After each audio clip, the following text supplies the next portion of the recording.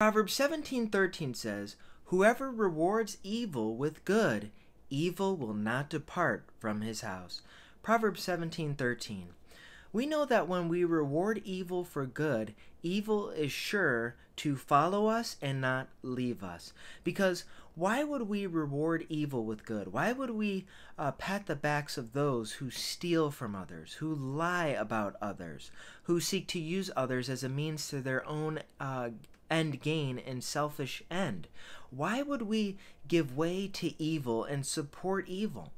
And this is very important to understand no matter where we're at, whether it's in business, in politics, uh, if it's in our uh, unit between our family or friends, whatever it is, if we reward bad behavior, evil is not going to leave our house. God allows evil to continue to remain and occur to us. God is not the one doing this, but He allows it, as we know from Genesis 50 20 uh, to hopefully work out because uh, he always allows evil to work out for a greater good. But nonetheless, if we're rewarding evil with good and we don't depart from that ever, evil is going to continue to happen to us along the way. And that's why when we come to know God, by believing that Jesus Christ is Lord and Savior and repenting of our sins, we become born again and we receive the Holy Spirit, who helps us to be able to uh, keep in step with the Spirit. He helps us to uh, not only do good, but to reward good with good with proper and pure intentions.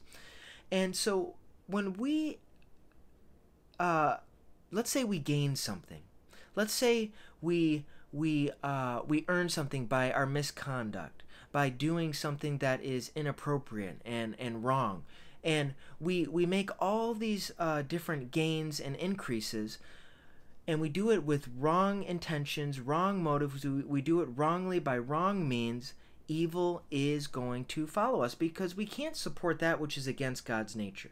We can't support that which is against God.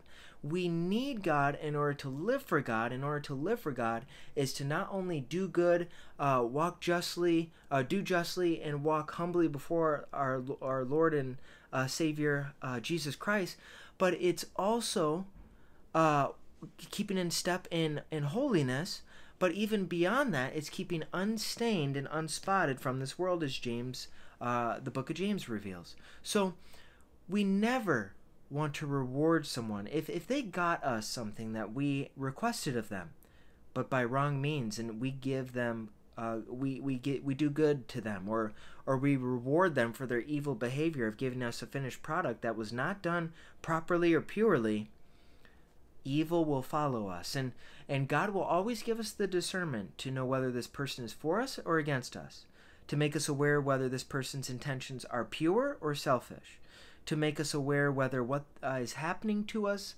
uh, what is occurring around us is either of God and for God or it's sinful and evil God's Holy Spirit will always make this aware to us.